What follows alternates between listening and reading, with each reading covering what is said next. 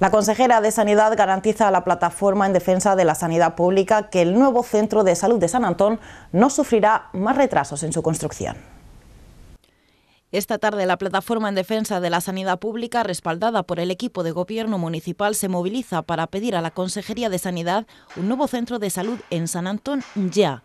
Las obras de la primera fase del nuevo se paralizaron porque la empresa abandonó los trabajos y desde la consejería garantizan que otra empresa retomará las obras de forma inmediata. Sobre la segunda fase, la responsable de la cartera sanitaria afirma que ya se trabaja para que las actuaciones comiencen tras la primera.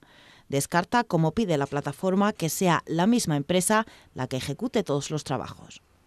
Pero nuestro análisis nos confirma que el que ahora mm, podamos variar esa situación, lo único que nos llevaría es un, enlentecimiento. Por tanto, como digo, a los vecinos, tranquilidad, nuestra prioridad es que eso se retome inmediatamente y el presupuesto de 1.100.000 está absolutamente contemplado para 2016. La segunda fase del proyecto se espera que concluya a finales de 2017.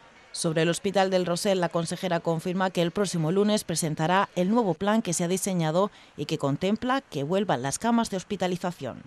Guillén ha dicho que los servicios se irán incorporando por fases hasta 2018, aunque no aclara si será un hospital como tal o complementario a Santa Lucía.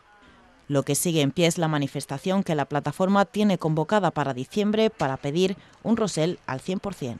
Ya también tuve conversaciones con el, con el alcalde, con la plataforma, teníamos muchos puntos en común en relación a lo que sería el plan funcional y que bueno, pues ah, probablemente también ah, el hecho de que, de que los ciudadanos quieran manifestar su preocupación, pues para nosotros es una, digamos, un ejercicio de su libertad, nos parece bien, pero para, para eso quiero decir que desde el punto de vista de la consejería no necesitamos que nos lo recuerden porque está dentro de nuestras prioridades. De momento habrá que esperar al lunes para conocer ese plan sobre el Rosell.